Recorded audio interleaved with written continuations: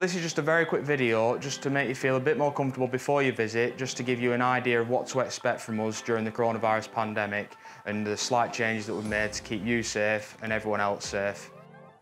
Before you arrive at the clinic, you'll be booking your appointment online through our website and also paying online just to speed the process up around your appointment, just so it's in and out for the treatment only.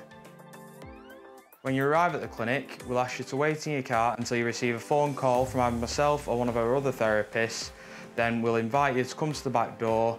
We'll then take your temperature and provide you with a mask if you've not already got your own. And the entrance will be separate to all the other occupants of the building. When you come upstairs, You'll also notice that this area is cut off from the rest of the occupants and also the waiting room is going to be closed just to speed up times for cleaning and also we're going to discourage people from using the toilets also just to cut down on the cleaning time. Before you enter the treatment room, you'll be encouraged to use hand sanitizer just for your protection and ours.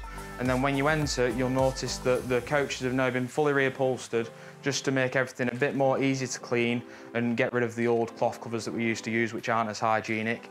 Also, the rest of the treatment room is quite a minimalistic layout as well, just so there's less things to get dirty and again, just speeding up the cleaning time. But apart from that, everything else will stay as it is with your treatment plans.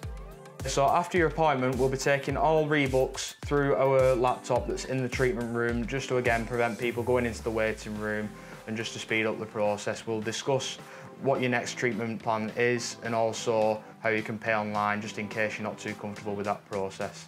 We look forward to welcoming you back here at SB Sports Massage and Rehabilitation. I hope this video has made it clear that your health is our number one priority. If you have any questions regarding this or anything else, don't hesitate to give us a call or drop us a quick email.